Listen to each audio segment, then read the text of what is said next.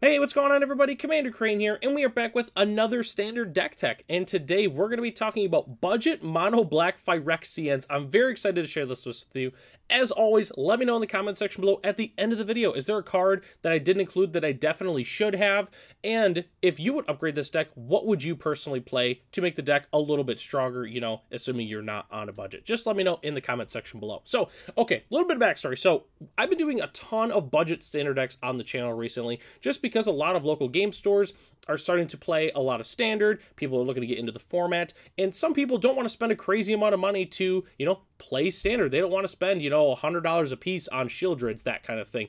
And if you like black aggro decks, I think this would be the perfect deck for you. It's really, really spicy. It plays a ton of cards that really don't see play really anywhere for the most part, just because, you know, not that they're bad cards, but, you know, there's not really the perfect deck for them. And a lot of these cards, this is the perfect deck for them. So let's go and hop into here. So these are our one drops that we're playing. We're playing four Bilious Skull Dweller, four Evolved Sleeper, and four Hopeless Nightmare. The Skull Dweller is really, really good. Having the Death Touch on a 1-1 for 1 is sneaky good all of our opponent's creatures, you know, we trade with all of them. Sometimes if we need to get in some damage, our opponents really don't want to block it because it's so annoying. It's just a little death toucher, but the card is definitely very, very strong. The Toxic is not going to come up very often, but, you know, it is something that could potentially happen.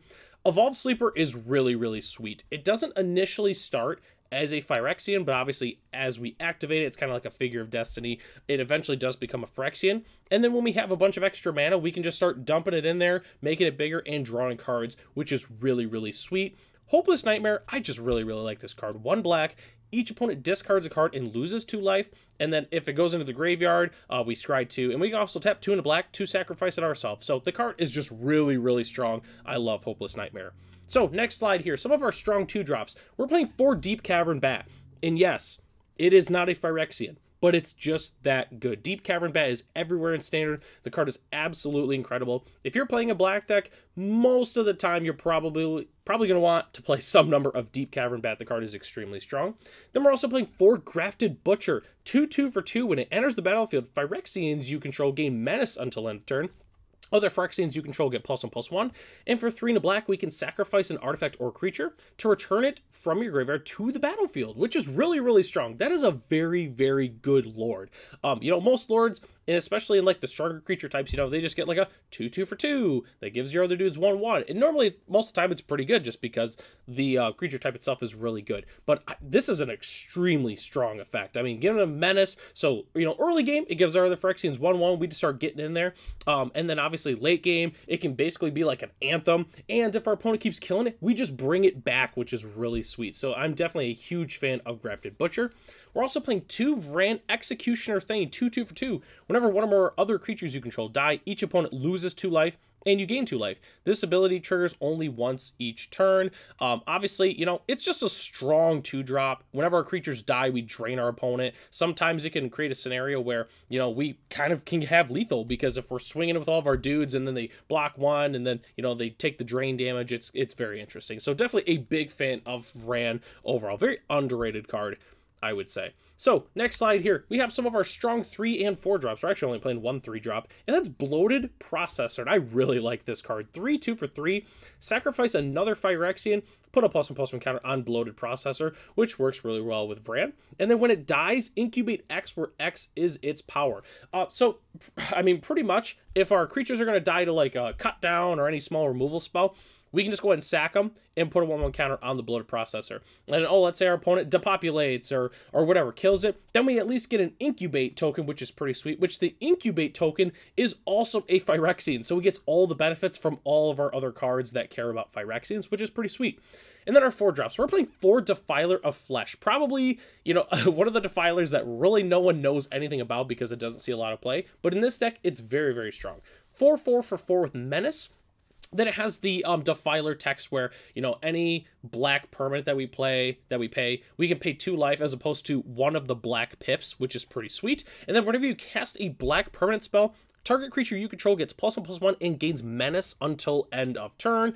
Uh, can obviously work really well with the bloated processor. If we make it really, really big and then our opponent only has like one creature or something, we can just just smack them with it, which is pretty sweet. But Defiler Flesh is really, really sweet. There's definitely better four drop Phyrexians, which we'll kind of talk about that later. But in terms of a budget build, this is definitely the best one that we can play in the deck.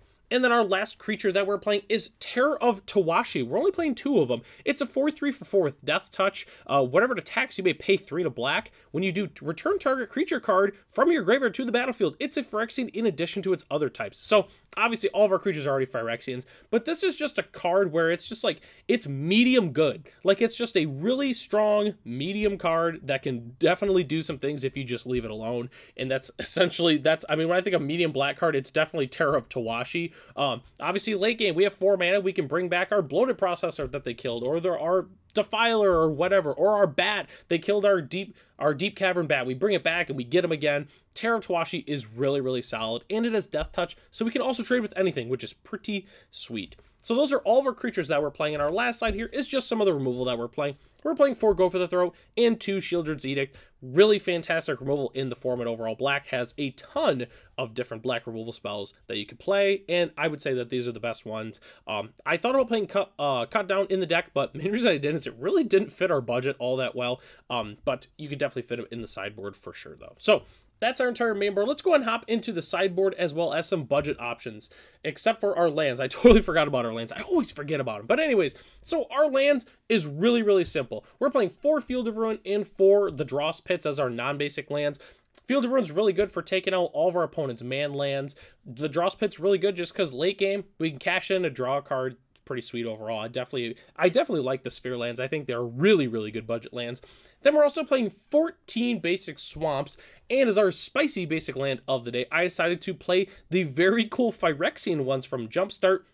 If you look way in the background, there is a Phyrexian, I believe that's Obliterator. I don't think it's Phyrexian Negator. I think it's Phyrexian Obliterator, but you can see it all the way in the background there, which is really, really sweet. So I think this is kind of one of the first cards they did with the Phyrexian uh, text too, because this was like before Phyrexia Albi one and stuff like that. So definitely a very, very cool swamp for sure. So that's our entire main board. Now let's finally go and hop into the sideboard here. So really, really simple. So we're going to want a little bit of life gain. There's a lot of removal spells in the format that you gain a little bit of life uh, with, which is really good against especially like Mono Red and a lot of the other really fast aggro decks like humans.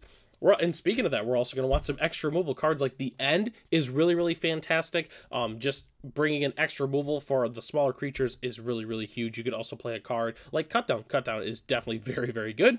And then discard spells. Main one being like Duress. You're definitely going to want Duress in your sideboard, especially in mono black. You could also play, you know, there's a couple of different like Mind Rot effects where it's three mana, make your opponent discard two. Um, unfortunately, uh, Go Blank is not in standard, which I would definitely play it other than in this deck. But, you know, really any of those effects would definitely be very, very strong. And the last thing we have to talk about is the upgrade options, which is really simple. The utility lands, mostly meaning like Takenuma and Cavern of Souls if you happen to have them. You don't need to play, you don't need Caverns to be able to play this deck, but if you have them, they're definitely very, very strong. Uh, and again, kind of like what we talked about with the four drops, the Phyrexians, Sheoldred and Phyrexian Obliterator are really, really good, and they're both Phyrexians. If you have them, go ahead and put them in the deck. But don't feel like you need those to definitely play this deck. Are they very strong? Yes, they are like really, really good black four drops. There's actually a lot of good black four drop Phyrexians, and I just decided to play the Defiler in that slot. But again, if you have them, go ahead and throw them in the deck. They will make it better for sure, but they are not 100% necessary. And the last thing I wanted to mention is this deck's only $31 if you want to play the entire deck. That's extremely cheap for a standard deck. I'm not saying you can take this to the Pro Tour or anything like that, but if you're looking to have some fun at your local game store, get into some standard, maybe even buy an extra deck for a friend so they can come play and you don't want to spend a lot, this is a fantastic deck to be able to do that. So let me know in the comment section below if you do end up building this list. I'll probably end up building myself because again, it's only $31. I can build it and just have an extra deck for someone who wants to play some standard with me. So, all right, well, that takes us to the end of the video. Let me know in the comment section below. What do you think about the list? Is there a card that I should have included that I didn't? Just let me know in the comment section. So I'm Commander Crane. Thanks for watching this video, and I'll catch you in the next one.